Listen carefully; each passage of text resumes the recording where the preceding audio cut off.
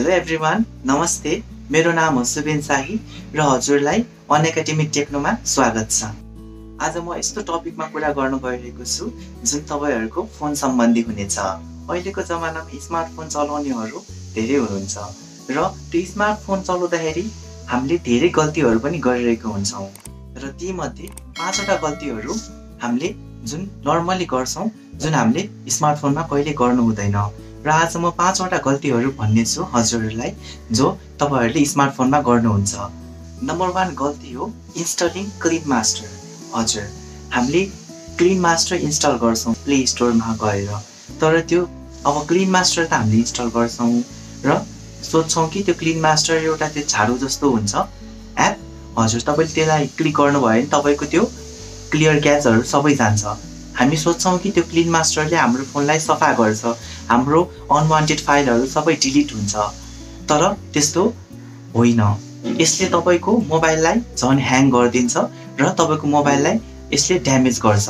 अब यो एपले हजुरले यदि फेसबुक ट्विटर इन्स्टाग्राम म्यापहरू चलाउनुहुन्छ भने त्यो तपाईँले जुन चलाउनुहुन्छ त्यो फेसबुकहरू त्यसको डाटाहरू तपाईँको फोनमा सेभ भएर बसेको हुन्छ। जस्तै म्याप पनि तपाईँले कुनै एउटा सर्च गर्नुभयो प्लेस हजुर र त्यसमा तपाईँले चाहिँ जुन तपाईँले प्लेस सर्च गर्नुहुन्छ त्यसको डाटाहरू त्यहाँ स्टोर भएर बसेको हुन्छ अफलाइनमा र तपाईँले जुन तपाईँले त्यो क्लियर क्याच क्लिन मास्टरले जुन तपाईँले क्लियर गर्नुहुन्छ नि त्यो क्लियर गऱ्यो भने तपाईँको म्यापको तपाईँको फेसबुकको डाटाहरू र तपाईँको क्रोम ब्राउजरहरूमा जुन तपाईँले इन्टरनेट ब्राउज गर्नुभएको हिस्ट्रीहरू त्यो सबै डाटाहरू उड्छ।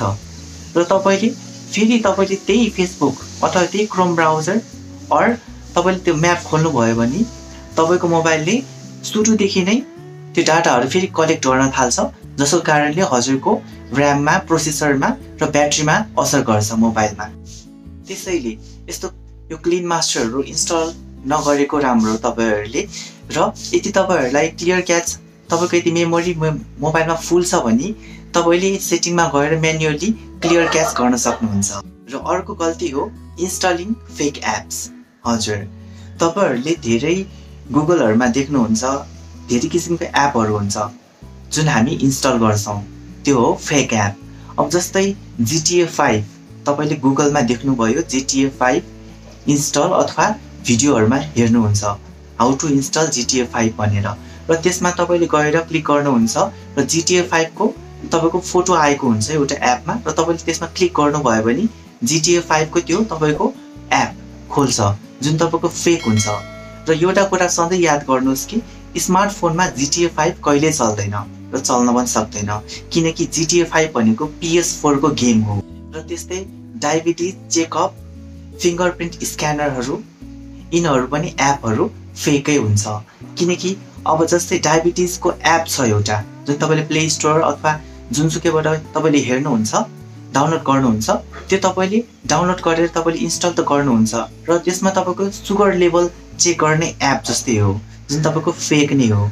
यसमा तपाईँले चाहिँ यो जुन तपाईँको नम्बर आउँछ सुगर लेभल त्यो तपाईँको फिङ्गर प्रिन्ट फिङ्गर प्रिन्ट हान्यो भने तपाईँकोमा कति ब्लड सुगर छ त्यो चेक हुन्छ। त्यो एक्चुअलमा त्यो एकदमै फेक एप हो त्यो। त्यस्तो एपले हजुरको मोबाइलमा स्टोरेज मात्र खान्छ र हजुरको मोबाइलमा सिस्टम ह्याङ गरिदिने हुन्छ त्यस्तो एपहरूले। अर्को छ फिङ्गर प्रिन्ट स्क्यानर। हजुर यसले तपाईँको मोबाइलको मेमोरी मात्रै खान्छ। यस यो तपाईँको फेक एप हो एउटा। तपाईँले जुन गुगलहरूबाट पाउनुहुन्छ फेक एपहरू तपाईँले त्यो इन्स्टल त गर्नुहुन्छ।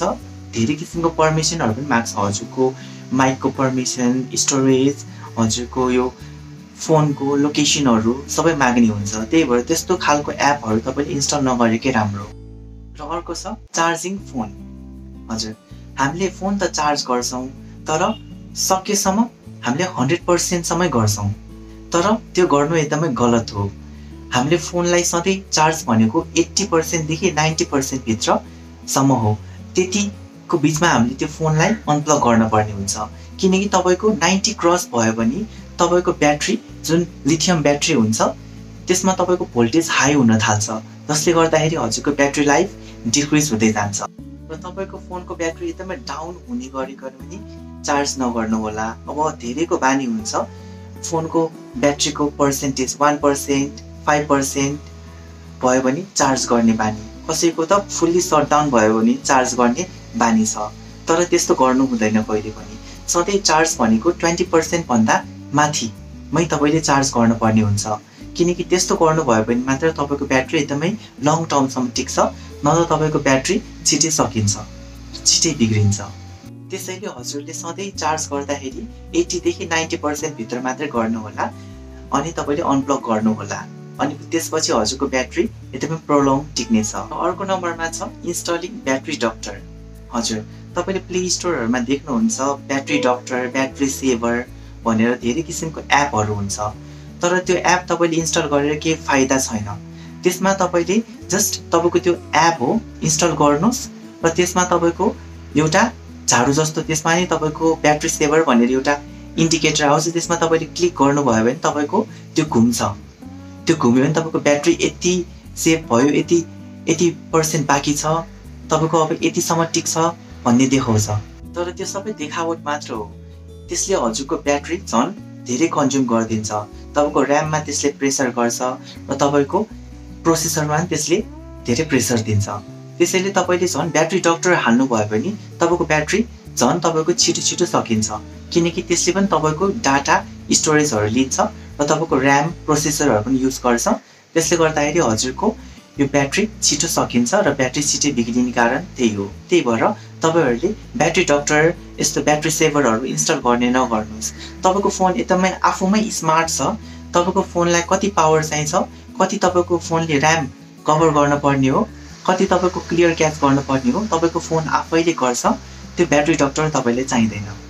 र अर्को लास्ट पोइन्ट छ नट रिस्टार्टिङ आवर फोन हजुर फोन हामी जुन चलाउँछौँ त्यो महिनौ महिनौ चलाउँछौँ तर हामी धेरै जस्तो फोनलाई एकचोटि रिस्टार्ट गर्दैनौँ।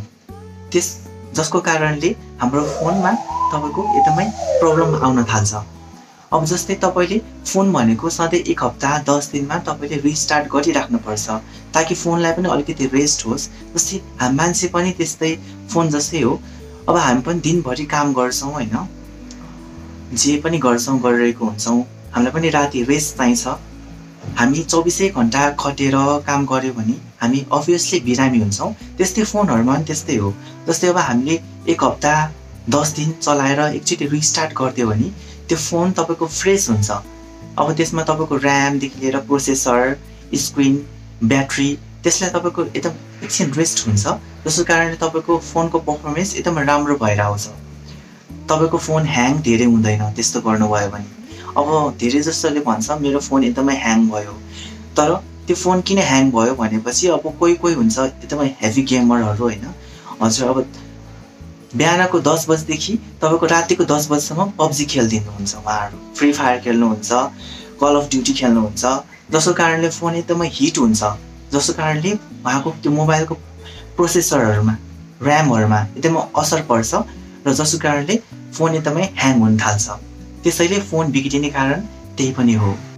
त्यसैले फोनलाई सधैँ एक हप्ता दस दिनमा एकचोटि भयो नि रिस्टार्ट गर्ने गर्नुहोस् यदि तपाईँलाई आफ्नो फोन धेरै वर्ष टिकाउनु छ आफ्नो ब्याट्रीको लाइफ बढाउनु छ भने यो पाँचवटा कुरा तपाईँले कहिले पनि नगर्नुहोला जुन तपाईँको फोनको लागि एकदमै हानिकारक छ। सो आजको लागि यति नै। हजुरलाई यो भिडियो कस्तो लाग्यो मेरो टिप्सहरू कस्तो लाग्यो हजुर प्लिज कमेन्ट बक्समा लेख्नुहोला र भिडियोलाई लाइक सेयर र सपोर्ट गरिदिनु होला र मेरो च्यानललाई पनि सब्सक्राइब गरिदिनु होला। आई होप तपाईँलाई यो भिडियो मनपर्नेछ र तपाईँलाई यो भिडियोले सहयोग गर्नेछ। So thank you for watching guys